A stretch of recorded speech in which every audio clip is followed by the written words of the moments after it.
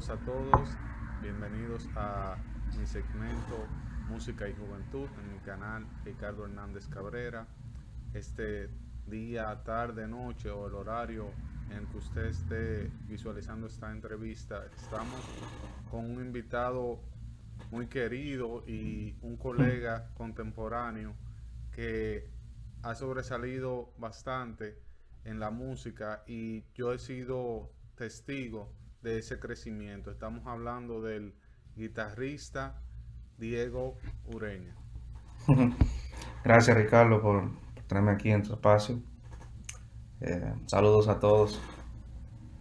Diego, siempre yo comienzo preguntando dónde nace Diego Ureña.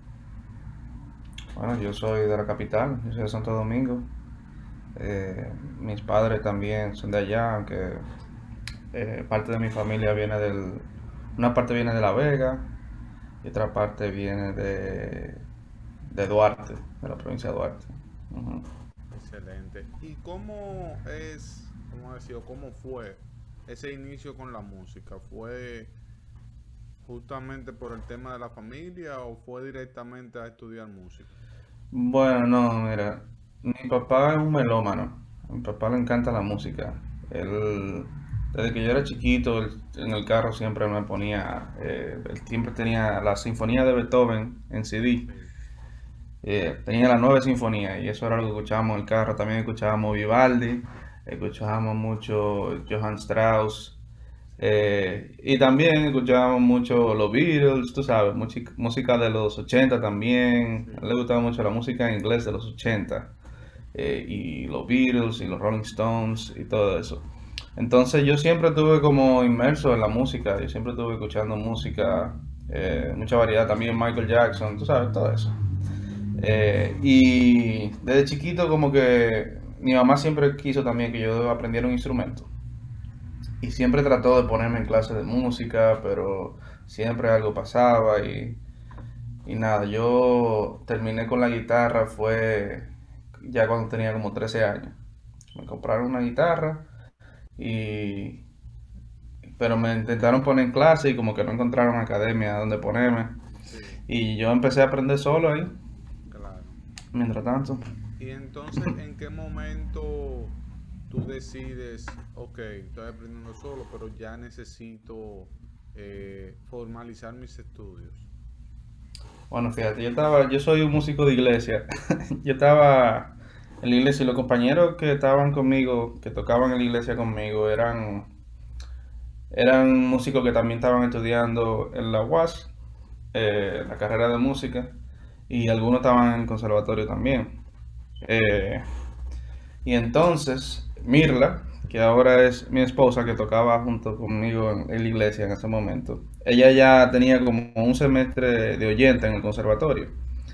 Y ella me dice, en ese momento, eh, tú, tú deberías como considerar entrar al conservatorio. Y yo, pero ven acá, yo no, yo no sé nada de teoría, ni, ni de lectura, ni nada de eso. Yo no, eh, no me consideraba como un prospecto para entrar al conservatorio. Pero ella me dijo, no, no, eh, yo te preparo en lectura, en teoría y todo eso. Ya ella estaba avanzada en la UAS y, y tenía un semestre en el conservatorio, así que ella me preparó con la lectura, la teoría y todo eso. Y en la guitarra yo lo que fue, yo fui al conservatorio y pedí el programa que ellos dan.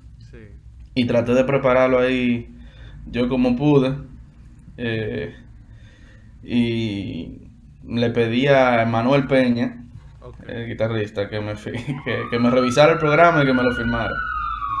Y entonces, nada, cuando yo, yo entré en el conservatorio en el 2012, y ahí fue por primera vez cuando yo empecé a estudiar música como formalmente en una institución.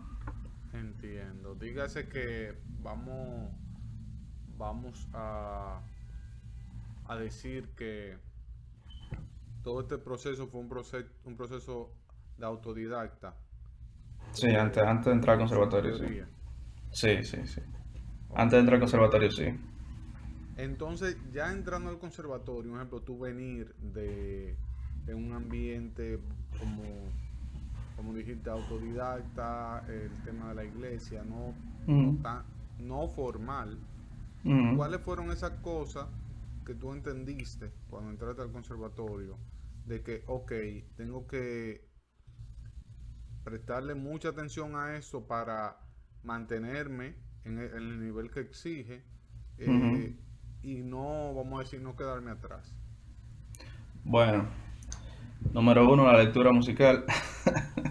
Es el reto de todos los guitarristas. Eh, yo no sé por qué, eso es como algo del instrumento, como que el 90% de los guitarristas tienen problemas. Bueno, más los, más los populares que los clásicos, ¿verdad? Sí, Que este instrumento se aprende de oído, claro. básicamente. Entonces, casi siempre se da el proceso de, eh, el proceso inverso a la mayoría de los músicos que aprenden primero escuchando y después eh, la partitura. Eh, la lectura fue algo que yo dije eh, que fue para mí un reto y yo dije tengo que prestarle mucha atención a eso y el entrenamiento también rítmico auditivo y el conocimiento de la armonía. Cuando yo empecé a estudiar armonía en conservatorio con, con Brito y con Javielo, yo sentí que, o sea, yo sentí que se me abrió la cabeza, que yo estaba entendiendo, tú sabes, eh, muchas cosas de la música que, que antes yo nada más escuchaba, pero no sabía apreciar. Claro. Eh, Y entonces, ese, ese, entonces, ¿cuáles fueron las cosas que tú dijiste, bueno, eh, por tu experiencia, tú dijiste, me siento cómodo aquí? bueno, yo creo que mm, eso- ahí son pocas las cosas, porque yo creo que cuando yo entré al conservatorio, eh, para mí eso fue un mundo nuevo, tú sabes, yo venía de tocar canciones en la iglesia, tú sabes, uno, cinco, cuatro, Sí, seis ya, pero cuando entré al conservatorio to- todo era nuevo, o sea, el mundo del jazz también, o sea, yo lo descubrí cuando entré al conservatorio básicamente, Eh, todo eso que tiene que ver con la improvisación, la armonía, todo el repertorio del jazz. Eh, lo único que yo te puedo decir que me siento cómodo es como que desde el principio, cuando yo cogí la guitarra, el instrumento como que se sintió cómodo. O sea, como que yo sentí que ese instrumento era para mí y, y como que, aunque han sido, no te voy a decir, ha sido un reto, tú ves. eh, eh, cuando uno está estudiando un instrumento seriamente, siempre se encuentra retos. Pero como que nunca he llegado al punto de decir, ay no, como que este instrumento eh, no es para mí, lo voy a dejar. No, como que la guitarra siempre ha sido un instrumento, eh, ¿cómo, cómo decir el, el término? Como que, que, que, que se siente bien en mis manos. claro. Y en ese, en ese transcurso, de tú en- entrar al conservatorio y ya lo- los años de conservatorio, tú estabas en, en el bachillerato, digas, en la secundaria. Sí. todavía, ya un ejemplo, ¿tú considerabas cuando entraste al conservatorio hacer una carrera profesional como músico o fue por el hecho de que, eh, como mencionaba Mila, te motivó o Mm. y tú entendías de que sí, po- podría eh, darse la oportunidad o ya tú visualizabas hacer carrera como músico? De hecho, no. Cuando yo entré al conservatorio, yo estaba pensando estudiar ingeniería. Y en mi primer semestre en el conservatorio fue que yo me di cuenta eh, que a mí me encantaba la música, que eso era lo que yo quería hacer. Pero tú sabes que hay un tema de que la gente siempre te pregunta, y entonces, ¿cómo tú vas a vivir? Claro, De que entonces, entonces yo tenía como ese miedo de decirle a mis padres que yo iba a estudiar música sí, porque sabía que, que esa pregunta venía por ahí, y que mire, y que piénsalo, pero mejor estudialo como un hobby o algo así, pero ten algo seguro por ahí. Pero era que yo me sentía como lleno con la música, tú sabes, como que yo sabía que eso era lo que yo quería hacer todo el tiempo. Eh, y, y siempre supe que iba a ser un reto encontrar una forma de, tú sabes, de vivir de eso y, y, pero, pero no sé, me, qui- quise, tuve el sentimiento de hacerlo de todas formas y para mi sorpresa cuando se lo comuniqué a mis padres, ellos tuvieron 100%, me dieron su apoyo 100%, y entonces eh, cuando yo terminé el bachillerato, ya yo tenía como quizás eh, dos o tres semestres ya en el conservatorio. Eh, yo entré a la UAS a estudiar música. Claro. Y nada. Y entonces, ahí- y entonces ya entras a la UAS. ¿Cómo, vamos a decir, cómo entonces asume el hecho de ir llevando dos pensum eh, al mismo tiempo? eh, se va poniendo más exigente el conservatorio. eh, van, vamos a decir, viene el hecho de que ya co- se comienza a tocar eh, en los ensambles de manera seria, Sí. en los ensambles grandes. Ese, vamos a decir, esa carga académica, ¿cómo tú, tú la manejaste? ¿Te sentías, vamos a decir, eh, con la misma libertad eh, o, o tú decías, bueno, tengo que ahora administrarme mejor mi tiempo de práctica? Definitivamente. Bueno, tú sabes de eso más que nadie, porque tú también, Sí. todo el que estudia música ya seriamente sabe que tiene que irse para el conservatorio y tiene que irse para la UAS, porque hay que tener el título, ¿verdad? Y hay que tener también el conocimiento de, cómo ejecutar tu instrumento. Y si tú quieres eso, tienes que irte para el conservatorio. Entonces, lamentablemente tenemos que estudiar dos veces, como dicen, ¿verdad? Eh, eso, es un, eso es un reto, o sea, aunque la gente puede pensar de que no, pero tú lo que estás estudiando es música en dos sitios, no debe ser tan difícil, ¿no? Pero cuando yo estaba en la UAS y en el conservatorio, yo hubo semestres que yo estaba cogiendo hasta 18 materias. O sea, imagínate, Sí. eh, 7, 8 materias en la UAS y en el conservatorio también. eh, y tú sabes, esa, yo me, es- oye, yo todavía, yo hablo de eso casi todos los días, de la pela que uno coge, porque esos días que uno iba en la mañana y se pasaba el día entero en la UAS y después cogía esa subidita eh, de, la, de ahí hasta, la, hasta el conservatorio eh, a las 12 para coger también la tarde entera de clase y salir de ahí, qué sé yo, a veces a las 6, 7 de la noche. Eh, eso, eso es un reto, pero, pero yo creo que, que fue bueno, tú sabes, fue bueno, eh, vale la pena. Como te digo, entonces- es, es pesado, pero se, se puede. Entonces, por ejemplo, está, está, está la UAS, está el conservatorio, pero ya venía pasando por tu cabeza el hecho de salir del país o hasta que llegan, vamos a decir, estos eh, programas de Berkeley en el 2016, el 2014. el 2014 Sí, sí, sí, llegan sí, los programas de Berkeley. ¿Ya tú conocías de, de Berkeley o, o todavía tú estabas pensando en que, ok, voy a terminar aquí y luego de que termine aquí voy a ver cuáles son los otros horizontes? Sí, yo creo que yo creo que todo el mundo, todo el que estudia música ya, yo creo que está pensando en algún momento en hacer algo afuera, porque lo que pasa es que cuando, cuando tú viajas a cualquier otro país, tú estudias música en otro sitio, tú, a ti se te abre un poco la mente y tú, tú ves como que, eh, claro, tú ves que la música es algo de lo que tú puedes vivir realmente, tú sabes. Eh, y que hay mucho más campo de trabajo, etcétera, etcétera. Pero el asunto con Berkeley vino fue cuando yo me enteré de Berkeley por primera vez, cuando en mi examen de admisión del conservatorio, que me acuerdo que ese fue el día que se estaba graduando Helen, Helen de la Rosa, que se acababa de ganar una beca Sí. para ir a Berkeley. Y Roger también, eh, su hermano, también ellos venían juntos a estudiar. Y me acuerdo que en esa graduación Javier lo habló y habló de que tenía una beca y eso. Y ahí fue que yo escuché Berkeley por primera vez. Y yo, nada, eh, yo dije, wow, ¿y ¿qué, qué será eso entonces? y empecé a investigar y luego vinieron los programas, eso de Berkeley en Santo Domingo. Y yo audicioné y audicioné y audicioné, tú sabes, las primeras audiciones no fueron tan tan buena, pero creo que fue en el tercero en el segundo programa, que sí, en el segundo programa, no. No, fue en el tercer programa que eh, audicioné y, y me gané una beca de, de verano, como para venir a un programa de verano eh, de guitarra, como era una, como una semana de, de guitarra solamente, aquí en la universidad. Eh, vine, con- me acuerdo que vine con Manuel, Manuel Roque y vine con Erwin. también. Los tres nos ganamos el mismo programa.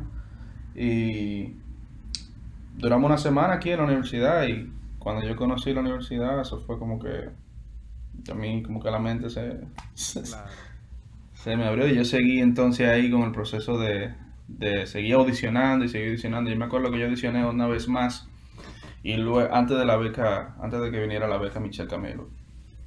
Entonces ya viene, se agotan esos procesos, viene la beca Michelle Camilo. Cuando se anuncia la beca,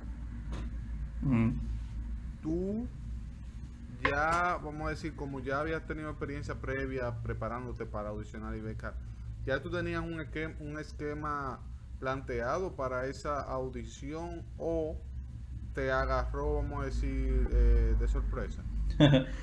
Fíjate, mira, cuando anunciaron la beca, la anunciaron yo me acuerdo como, bueno, por lo menos Javier no, nos había hablado de que venía la beca, por lo menos como un año antes de que, de que viniera. Ya estaba diciendo, señores, prepárense que viene la beca Michelle Camilo. Yo realmente en ese punto porque Mirla y yo estábamos aplicando a universidades, eh, porque ya yo había aplicado tanto a Berkeley que me había como desanimado un poco. Y dije, bueno, pues vamos a aplicar a otro sitio entonces, porque hay más universidades. Y, y, esa es la verdad, o sea, Berkeley no es el único sitio. Eh, hay muchísimas universidades de, música que son tan buenas o quizás mejor, o sea. Y yo apliqué, me puse a aplicar a varios sitios, eh, pero no tuve tanta suerte apliqué a varios sitios y algunos me dijeron que sí, algunos me dijeron que no. Eh, y ya como que cuando vino la amiga Michelle Camilo, al principio estaba un poco desanimado y como un poco indeciso de si aplicar o no. pero ya cuando se estaba acercando bastante la fecha, eh, como que me decidí que sí, debo aplicar, tú sabes. Eh, y entonces realmente no tuve una preparación de que tan tan eh, estricta. sí para la beca porque como cuando me decidí a realmente adicionar ya estaba muy cerca entonces yo lo que decidí fue como tomar lo que de, lo que ya yo tenía del repertorio una transcripción que ya yo tenía que ya yo había tocado varias veces y y decidí bueno déjame tocar esto todos los días hasta que venga el día de la audición y que sea lo que Dios quiera. Eh, ahí, ahí antes de que entremos a la, parte de la audición, se me, eh, me olvidó preguntar anteriormente. El tema de las audiciones no es de las audiciones per se. Nosotros hacemos la primera audición al conservatorio eh, y vamos a exámenes, pero no tenemos esa constancia, vamos a decir, de estar haciendo audiciones. Cuando tú te ganas las sesiones de guitarra para Berkeley en, en 2016, ¿verdad? O 2015. Creo en 2015, exacto. Yo fui en el 2016, pero fue... En 2015, el tema de audicionar, vamos a decir, hasta ese momento, ¿cómo tú lo comparas con la audición para la beca Michelle Camilo? Bueno, eh, la, diferencia ahí es que Michel Camilo está jurado. Entonces, ya tú sabes, eh, no es lo mismo eh, tener un jurado ahí que, ¿sabes? Del calibre de Michel Camilo. Eh, los nervios siempre van. Los, los, nervios siempre están para una audición, pero cuando tú sabes que ahí hay alguien como Michel Camilo, uno se pone un poco más nervioso. y nada, o sea, el asunto era tratar de prepararse lo mejor que uno podía y tratar de estar listo ahí para esa audición. Y entonces, eh, audición, eh, beca Michelle Camilo, también en, ese, en esos periodos viene la graduación del conservatorio. Sí, sí. Eh, Después de... ¿Cómo? No, no, no, sí. Después de la, de la beca, sí, fue la. Después de, la beca viene, viene la graduación del conservatorio. Vamos a decir, cerrar esa etapa. Eh, ¿Cómo vamos a decir? ¿Cómo, vamos, eh, ¿Cómo fue para ti preparar ese concierto? El hecho de que tú, vamos a decir, vienes de un proceso de ser autodidacta a,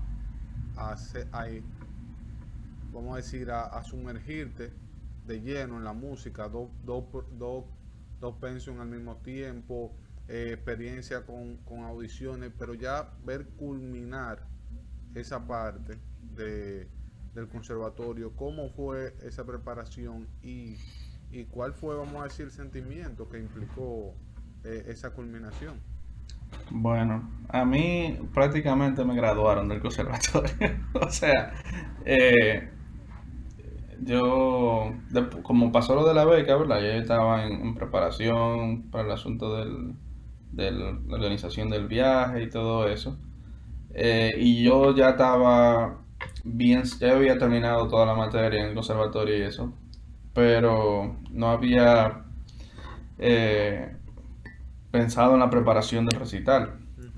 Pero me llamó Joel, mi profesor, y Brito, y, también Emanuel, y nos dijeron, usted tiene que graduarse del conservatorio ya. Y me dijo, tú tienes que graduarte antes de irte porque no te puedes ir sin hacer recital.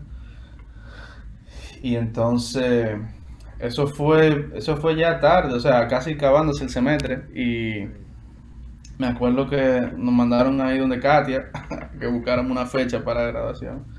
Y fuimos y Katia dijo, bueno, ustedes están feos porque aquí casi no hay fecha. Y nos dio los últimos dos días del conservatorio. Porque lo que pasa es que en esa, en esa época se estaban haciendo los exámenes de, me acuerdo, los exámenes de, viento. Ajá. Eh, metal y saxofón y todo eso. Se estaba haciendo en el, en el aula, en el, en el teatro, ¿cómo? En la sala. Se estaba haciendo en la sala porque... Eh, no me acuerdo por qué era el asunto. Creo que había un aula que no estaba funcionando o algo así. Se estaban haciendo ahí, entonces el problema era con los ensayos. No se podía ensayar en la sala porque los exámenes durante el día estaban, estaban ocurriendo. Entonces, también fue un tema conseguir los músicos, porque fue todo como a última hora, como conseguir los músicos de la graduación, armar el repertorio y todo eso. Yo, el recital mío fue prácticamente de, composiciones originales y de, de, arreglos también que yo hice eh, a temas a, temas del folclore dominicano y cosas así eh, pero como si no fuera suficiente eso también eh, Mila me ayudó y convocó, no sé cómo lo hizo, porque ella tiene un poder de convocatoria increíble. Ella convocó la orquesta Juan Pablo, del conservatorio Juan Pablo Duarte. Eh, y con una, con un, tú sabes, con, con unos cuantos ahí de la orquesta, hicimos, una, hicimos un, recital ahí con, y tocamos tres piezas con ellos, o sea, eh, tenía, había hasta timpani ahí, había, teníamos una orquesta de cuerda, teníamos viento, teníamos timpani, yo, yo ni supe cómo fue que en tan poco tiempo armamos esa, ese grupo tan grande ahí. Eh, y yo creo que fue, la graduación mía fue algo eh, yo creo que no había pasado antes en el conservatorio, una graduación con, un ensamble tan grande. Yo, de verdad que todavía me siento, no sé, siempre me voy a sentir muy agradecido de cada uno de los compañeros que tocaron conmigo eh, en la graduación, porque fue de verdad algo increíble. Hermano, entonces ya concluye, vamos a decir, tu etapa aquí en el país, ya con beca en mano, como decía, el, recital te agarró, tú ya teniendo todos los preparativos para irte a, a Berkeley. Exacto.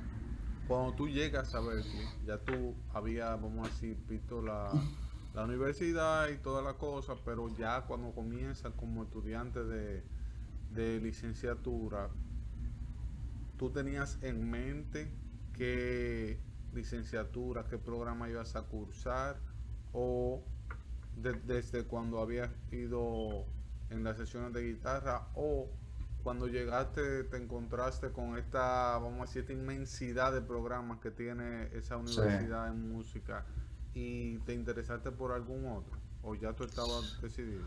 Bueno, mira, yo eso le pasa a mucha gente, eso de, de, la indecisión. Yo, yo quería estudiar jazz comp, o sea, composición de jazz. Eh, pero me asesoré con, con Elvin, con Roger y con alguna persona que ya que habían estudiado incluso esa misma carrera. Y me dijeron que algo que tiene Berkeley para ofrecer, que quizá no tienen otras universidades, es el asunto de la tecnología, de los, las facilidades con las con los estudios de grabación y todo su equipo. Entonces como que sería eh, sería, entre comillas, como un desperdicio no, no aprovechar eh, las carreras, las, las ofertas de, esas carreras que tienen que ver algo con, con la grabación, con la ingeniería de sonido, con, los estudios, en un lugar como este, tú sabes, que tiene lo último y lo mejor de lo mejor en ese asunto. Entonces ahí yo dije, bueno, eso tiene sentido y como que si en algún momento de mi vida yo voy a aprender acerca de producción musical y acerca de, tecnología y todas esas cosas, y, no es ahora como que, ¿verdad? Tengo que, tengo que aprovechar este momento ahora que estoy aquí. Y entonces decidí irme por el lado de eh, producción musical y, arreglos. Entonces yo estoy estudiando la carrera que se llama Contemporary Writing and Production. Eso es composición, ¿sabes? Composición, arreglo, eh, hay muchos arreglos para Big Band, muchos arreglos para ensambles eh, pequeños, muchos arreglos para orquesta, cosas así.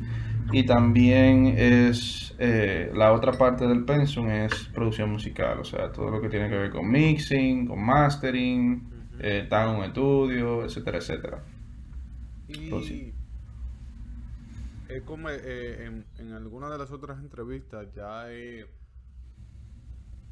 conversado con otro colega, colega de, ambos, que han cursado en Berkeley también con el tema de becas, pero es la primera vez que, que tengo la oportunidad de conversar con un becado, Michel Camilo. ¿Cómo es el, vamos a decir, eh, cuáles pasos o requerimientos implica ser becado en este, pro, en este programa que que no es, vamos a decir, que no es como becas acumulativas, sino es como eh, eh, un premio como tal. ¿Cuáles son esos, vamos a decir, esos requerimientos que te, que te pide la universidad seguir mientras y, si se mantiene, vamos a decir, alguna algún vínculo, el seguimiento que le da el mismo Michel Camilo al tema de la beca? Claro que sí. No, Michel Camilo se mantiene muy de cerca eh, con los becados. Conmigo se ha mantenido eh, bastante cerca. O sea, nosotros hablamos eh, con, mucha frecuencia. Él siempre se mantiene pendiente de, cómo estoy yo en la universidad, cómo me está yendo, tú sabes. si, si, si, me está yendo bien, si la nota, si yo todos los semestres, él me lo pide o no, yo le doy como un, un reporte de, de, cómo va todo, tú sabes eh, para que él sepa que está bien invertido. no, y el asunto es que la universidad, eh, yo no he sentido ninguna como imposición, ni exigencia, ni cosas, pero yo supe que desde que yo vine aquí, o sea, yo tenía que aprovechar esta oportunidad y yo estoy haciendo lo mejor que yo pueda, yo estoy dando lo mejor que yo pueda y gracias a Dios me ha ido bastante bien. Eh, desde el primer semestre eh, yo apliqué para un concierto que hacen aquí eh, de como un showcase, como un concierto, pero tú tienes que aplicar para tocar en ese concierto y ese tipo de cosas. Yo apliqué. Como que, eh, eh, proponerlo. Exactamente, exactamente. entonces, nada, yo, yo hice mi aplicación y eso y, y me aceptaron y toqué mi primer semestre. Y luego de que toqué fue que me enteré que eso era como un asunto de de que no todo el mundo puede tocar ahí, tú sabes, como que hay que aplicar y que si yo qué. Y yo dije, ah, espérate, yo no sabía que eso era así. Eh, y así me he mantenido, tú sabes, tratando de, ser excelente en, todo lo que hago. Eh, también he tenido la, tuve el privilegio de, recibir el premio del departamento de guitarra eh, dos veces, dos veces consecutivas. Gracias. Y nada, y, ese tipo de cosas yo se la mantengo ahí a, Michelle cada vez que le hablo. Mira, mira, estamos haciendo esto, para que él sepa que estamos aquí tratando de aprovechar esa oportunidad al máximo, tú sabes. Y yo creo que que así es que hay que hacer, o sea, hay que aprovechar las oportunidades y, saber eh, hacer todo eh, de la mejor forma posible. Eso es así.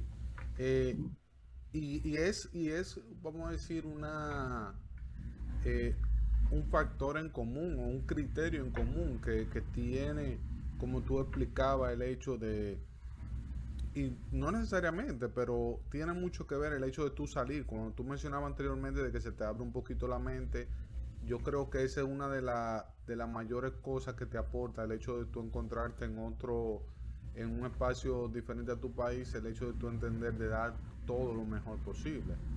Porque eh, desde esa incertidumbre que tú tenías para entrar al conservatorio, ya tú estás en un plano en el que tú, vamos a decir, tú entiendes, sí, yo puedo hacer tal cosa, sí, yo puedo aplicar a tal cosa, y eso, vamos a decir, eso define mucho eh, el hecho de, cómo va a seguir tu carrera, y ya entrando a un plano más eh, profesional, eh, fuera, vamos a decir, de lo que es la academia, ¿cuáles fueron o cuáles han sido esos, esos espacios en los que tú has podido tocar o en los cuales se han podido eh, tocar tus, tus arreglos que tú pudieras mencionar? Bueno, eh, y puede ser desde aquí, desde cuando estábamos aquí, que, que, se tocó se tocaron muchas cosas, vamos a decir, fuera del ámbito del conservatorio. Sí. Eh, no, sí, cuando yo estaba allá en Santo Domingo, yo empecé un proyecto eh, que se llama el Diego Ureñas Project, eh, en donde yo, yo simplemente quería, tú sabes, tocar mi música. Entonces armé un grupo y empezamos, yo empecé a componer y a tocar mi música. Y antes de venir hice algunos tres conciertos. lo hice, uno lo hice en La Espiral, otro lo hice en, el fiesta. Eh, también hice algunos lives. Eh, pero cuando llegué aquí, tú sabes, traté de, de, seguir con el proyecto. Eh, pero el asunto es que aquí quizá no pude encontrar el tiempo de, encontrar, de seguir con el mismo grupo y con el mismo asunto. Entonces me enfoqué más en en tratar entonces de, de tú sabes, de enfocarme más en los estudios, eh, tratar de superar eh, alguna cosa que, tengo que superar en el instrumento y, y, tratar de subir de nivel y agarrar todo el conocimiento que pueda. Sí he participado aquí en, en, varios conciertos. Eh, uno de esos, el que te mencioné, es el showcase de, de guitarra y también he participado en recitales de, compañeros de aquí en la universidad.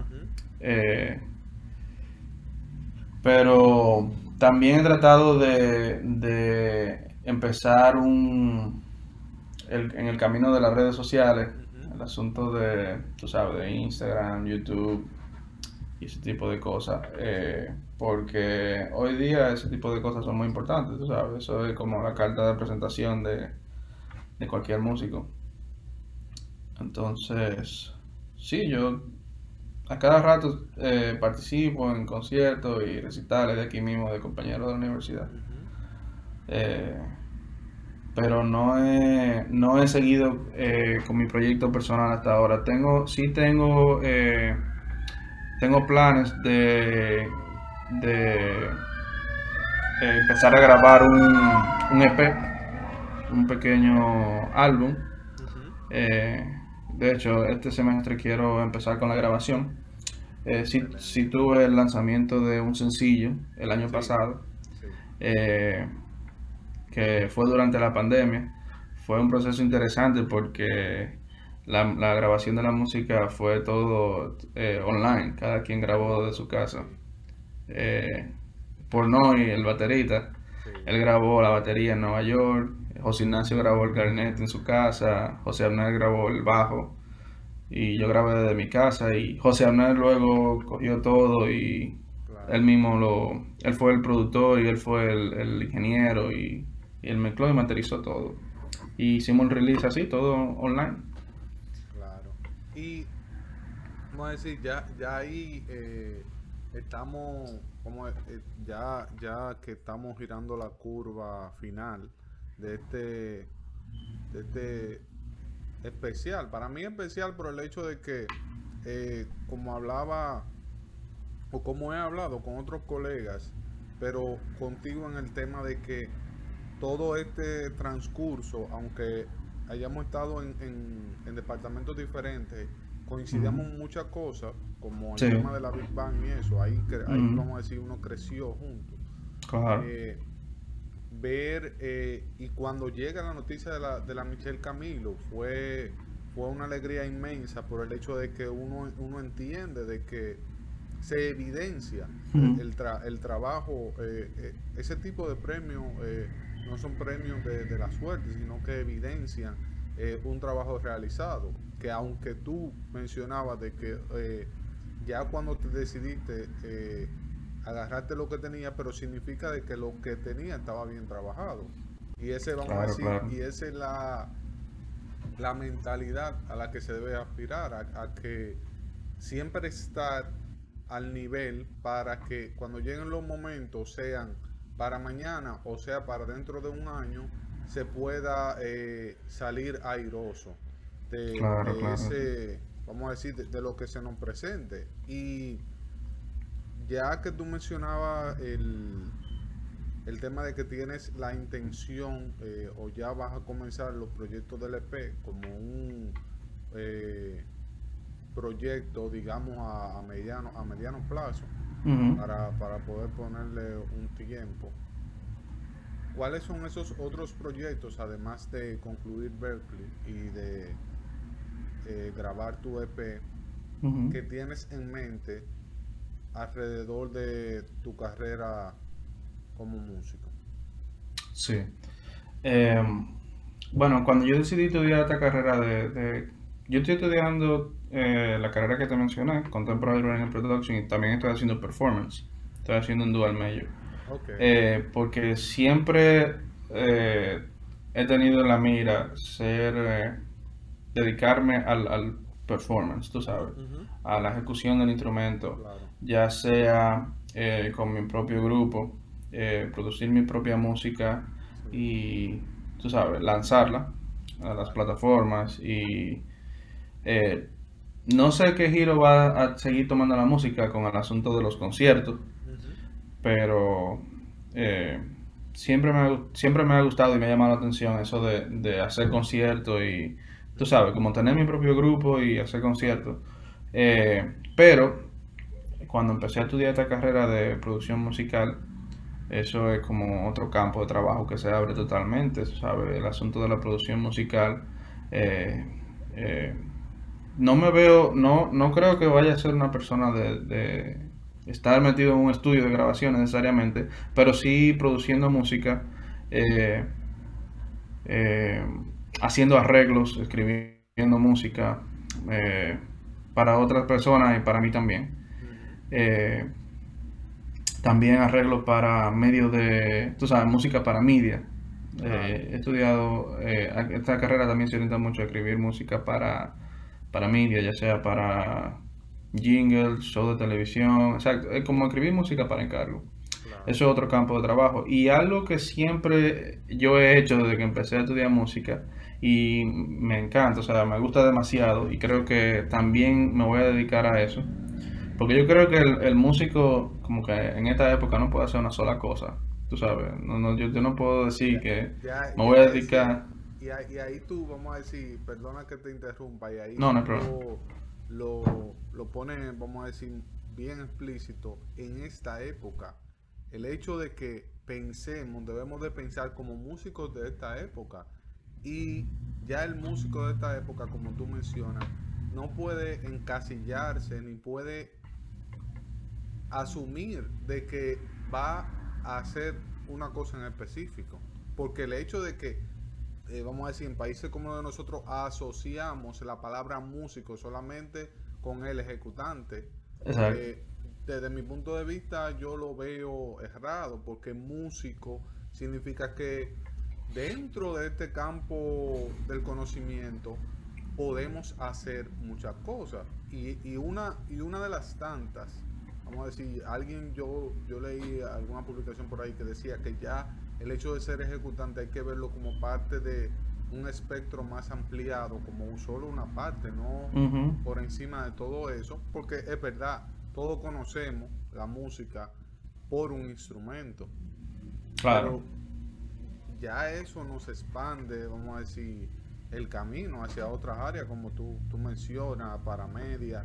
Eh, yo hace unos días me, me, vamos a decir, me dio una, vamos a decir, me sorprendió mucho y me alegré bastante ver que uno de nuestros compañeros, David Lockhart, está trabajando para música de videojuegos y, ahí tú dices como que, señor, ya, ya, ya la música, por ejemplo, mira, tú estás diciendo, estás haciendo un dual major, dígase, performance, ok pero ya también está el Contemporary Writing and Production.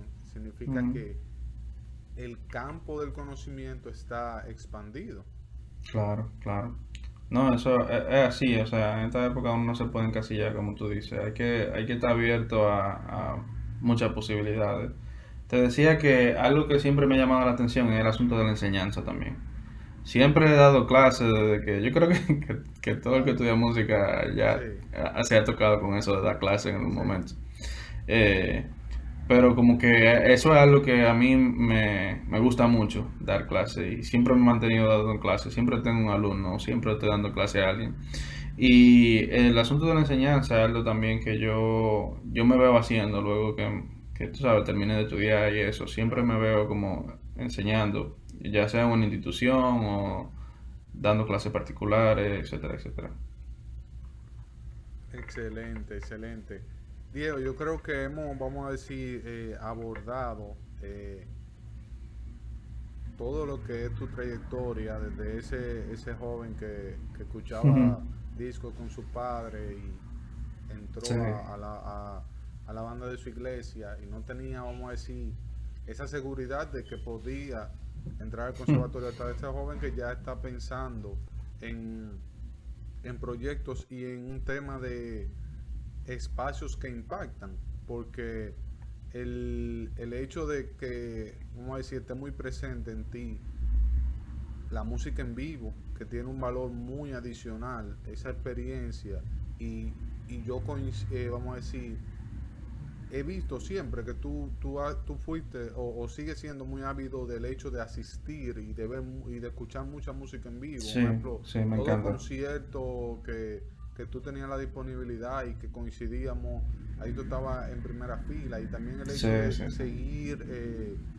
eh, vamos a decir, impactando por el tema de la educación, es para mí un testimonio claro de de cuáles son las cosas que realmente debemos de, buscar cuando entramos a, cualquier campo del conocimiento, en este caso de nosotros como músicos, el hecho de poder generar impacto en nuestro alrededor, porque eh, no es el, problema a veces que, que mucha gente dice, ok, tú vas a ser un músico más, pero si cada, ese, cada músico más de ese dicen un músico más, tiene la intención de impactar, eh, se evidencia la importancia de este campo eh, del conocimiento, porque por algo eh, tenemos la música ya a niveles de doctorado, a niveles de, especialidades,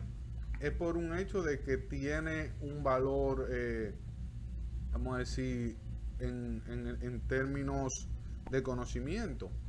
Y el hecho de que tú pienses o, que tú tengas como proyectos eh, llevar música en vivo y también educar, para mí es de valorar bastante, porque yo creo que esas son, vamos a decir, las metas a las que uno como joven, porque son metas que no se logran de hoy a mañana, pero lo primero es estar claro de que eso es lo que queremos hacer. Y de verdad que te digo muchísimas gracias por ser parte de este proyecto y gracias a todo el que estuvo hasta este punto de la entrevista.